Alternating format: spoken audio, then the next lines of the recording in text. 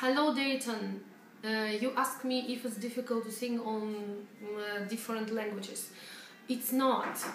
It's not difficult to sing on the other languages because we are remembering the music uh, and the languages at the same time. So it's uh, quite normal for us and uh, it's actually fun.